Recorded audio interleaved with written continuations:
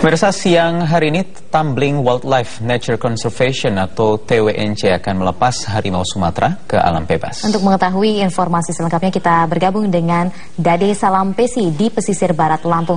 Dade hingga saat ini bagaimana persiapan jelang pelepasan harimau Sumatera dan siapa saja yang akan datang dalam persiapan tersebut? Baik Kartika jelang pelepasan dua harimau Sumatera di kawasan Tumbling Wildlife Nature Conservation di Kabupaten Pesisir Barat Provinsi Lampung ini persiapan sudah mencapai 100%. Rencananya pelepasan ini akan dimulai antara pukul 13 hingga pukul 14 siang waktu Indonesia Barat. Dan saat ini saya ada di area pelepasan dua yang menjadi lokasi pelepasan sejumlah satwa ke alam liar.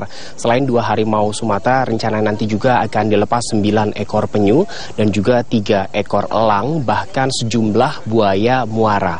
Dan kawasan pelepasan dua ini termasuk ke dalam Tumbling Wildlife Nature Conservation atau TWNC atau Hutan Konservasi Alam Tumbling yang menjadi bagian dari Taman Nasional Bukit Barisan Selatan. Dan di belakang saya ada dua kandang harimau yang sejak malam tadi, Panti dan juga Petir, dua harimau yang siang ini akan dilepaskan ke alam liar sudah ada di dalam kandang tersebut.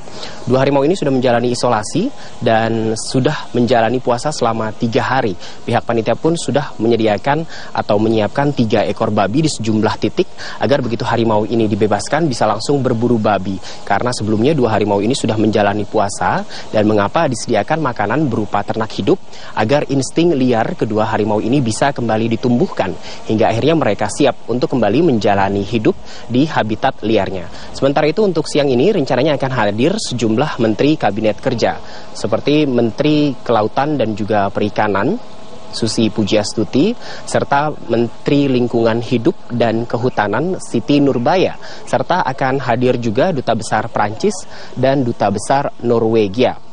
Tumbling Wildlife Nature Conservation luasnya mencapai 48 ribu hektar ditambah luas wilayah konservasi air yang mencapai 18 ribu hektar. Kawasan ini termasuk ke dalam Taman Nasional Bukit Barisan Selatan. Dan rencananya prosesi pelepasan alam liar ke prosesi pelepasan satwa liar maksud kami ke alam bebas ini akan terus dilakukan melihat kondisi hewan-hewan yang direhabilitasi apakah sudah siap dilepas ke habitat aslinya atau belum.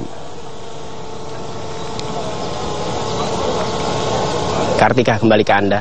Baik, terima kasih Dade Salampesi atas laporan Anda langsung dari Tumbling Wildlife Nature Conservation di Lampung.